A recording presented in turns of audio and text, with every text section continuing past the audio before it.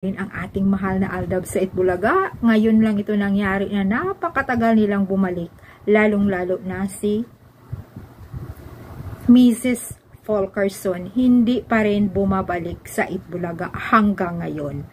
Totoo ba kaya yung sinasabi ni Mayor Halushos na maiiwan ang Aldab? Nako, sinagot na nga ni Tito Sen na talaga yung mga pinalabas ni Halushos ay hindi po totoo. Puro po piling. Kasi nungalingan ang lahat. Hay nako, aabangan natin yan kung ano ang mangyayari talaga sa Itbulaga.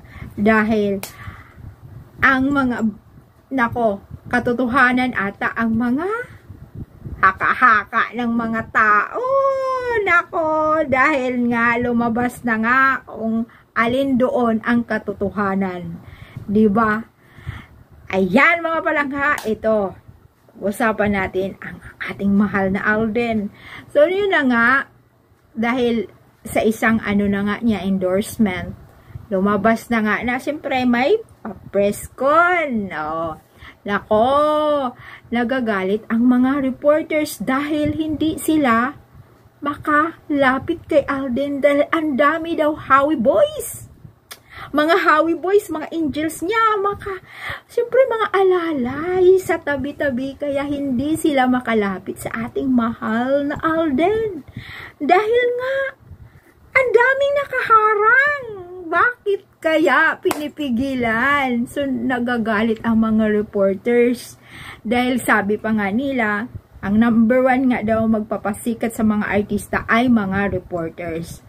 Bakit? Bakit kaya no hinaharangan? May mga siguro hindi. Ay, nako, alam mo niyo naman ang may mga reporters din kasi na masasama din na magbabalita.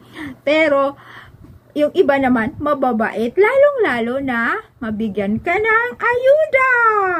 Nako sa kanila na po yun. So, ay nako, hindi daw yun gawain ni Alden dahil napakabait po na tao si Alden.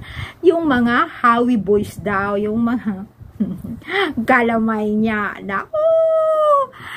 Napakabait po yung ating mahal na tisoy. Ganon din naman ang ating mahal na minggay. Yung mag-asawa niya, napakabait. Alam niyo naman hanggang ngayon, hindi, hindi sila talaga.